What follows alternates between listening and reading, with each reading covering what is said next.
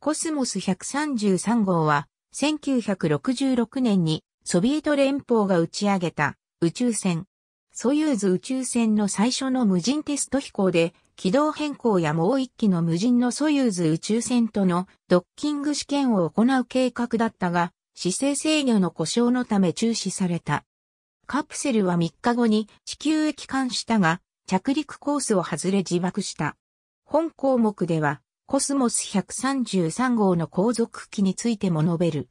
1966年、ソユーズ宇宙船が完成したが、有人飛行を行う前に無人試験飛行が必要とされた。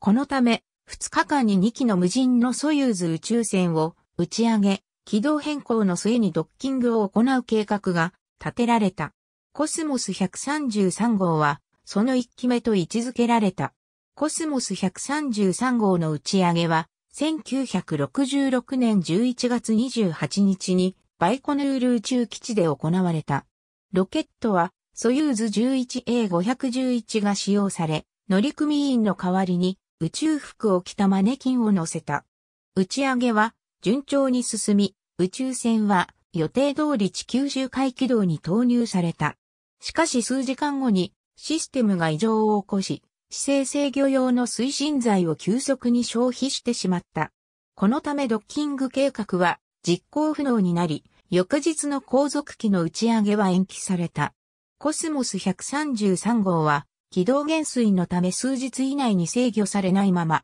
地球に落下する見込みとなった。ソ連領内で回収するためには宇宙船の制御を取り戻す必要があった。11月30日、宇宙船は逆噴射を行って軌道を離れることに成功し、大気圏に突入した。しかし、不安定な姿勢で噴射を行ったため精度の低い突入となり、機関カプセルは行方不明になった。着陸予想地点周辺で捜索が行われたが、ついにカプセルが発見されることはなかった。後日、レーダー追跡データを分析したところ、カプセルは予定の着陸地点からそれ、中国へ向かうコースに入ったため、搭載していた自爆システムが作動したことが判明した。この自爆システムは TNT 火薬を使うもので、無人機にのみ搭載されていた。11月30日の日本時間20時40分過ぎ、西日本上空に火球が出現した。和歌山県の中学生と京都市の高校生による観測記録から火球の軌道が求められ、富田光一郎によってコスモス133号と同定された。和歌山県の観測者によるスケッチには2つの明るい火球と数個の小さな光点が描かれ、京都で撮影された写真にはそれらの後方を飛ぶくらい物体が写っている。1966年12月14日、コスモス133号のトラブルを受けて延期されていた2機目のソユーズ宇宙船が打ち上げられたが、ブースターエンジン1機が点火に失敗し、ロケットは発射台を離れなかった。エンジンが停止した後、ロケットを発射台から下ろす作業が始めたところ、宇宙、ロケット本体は引火爆発し、複数の作業員が負傷する事故となった。